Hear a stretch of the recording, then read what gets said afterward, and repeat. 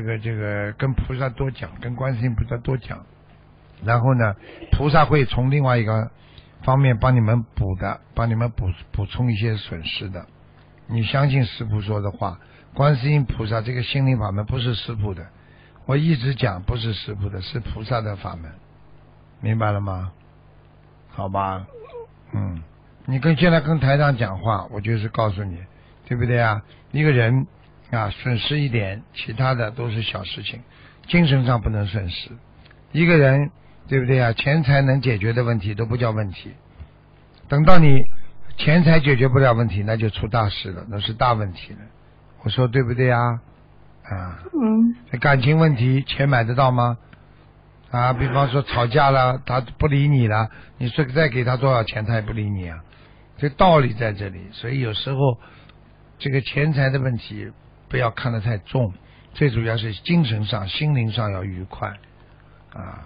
真的，如果真的经济上不行，下次就不要参加法会了，没关系的，看看片子，看看碟片也好，不要给自己为难，一切随缘，明白了吗？没有，我是参我是参加过十几次法会，那嗯他那位那两位只参加过洛杉矶法会，没有参加过别人别的法会。没有关系这次。本来是我想带他们出去。你记住我一句话：这个世界上一切随缘，每个人跟佛缘分，对不对啊？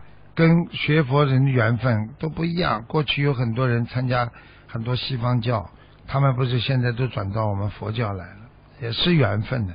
他们过去没有碰到过佛法的时候，他们觉得还不如西方教呢，对不对啊？这这人都在转变当中，说不定过几天、过一个月、两个月，他又来找你了。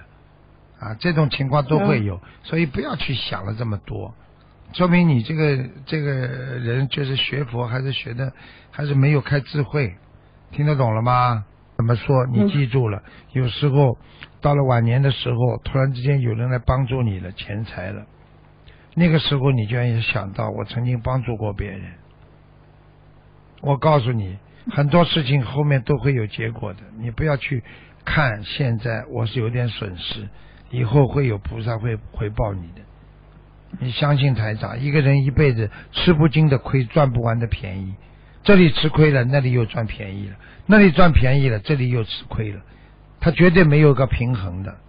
所以你要想到这一点，你想想你过去赚的时候呢，有没有多赚过人家？也有的，明白了吗？平衡一点自己心态，听台长的话，好吗？好，谢谢谢谢。啊，要记住了，钱财来了之后，如果有问题的话，那一定会花钱消灾的。有些人过去自己出了一点钱之后很难过啊，我后来就跟他讲，花钱消灾，结果他很多的灾真的消掉了。他说我该欠他的，我要是不是这这个给他给他付了这个钱，给他怎么样，我接下来他会对我怎么样？可能你付出更多的百倍、千倍的保损失或者保补补偿，所以有些时候我们不知道未来，所以我们只能接受现实，明白了吗？听台长的话，嗯人生一辈子啊，不会菩萨不会让你吃亏的。我吃了很多亏，师傅吃的亏最多，比你们都多。我现在得到的对呀、我现在得到的补嗯偿是所有人都得不到的，所以你们想一想就可以了。我吃多少苦，吃多少亏，所以你们要好好的记住，天上菩萨不会给我们吃亏的，只要你好好念经修行，对得起别人，好不好啊？嗯好，谢谢谢谢。嗯，好，嗯。谢谢你。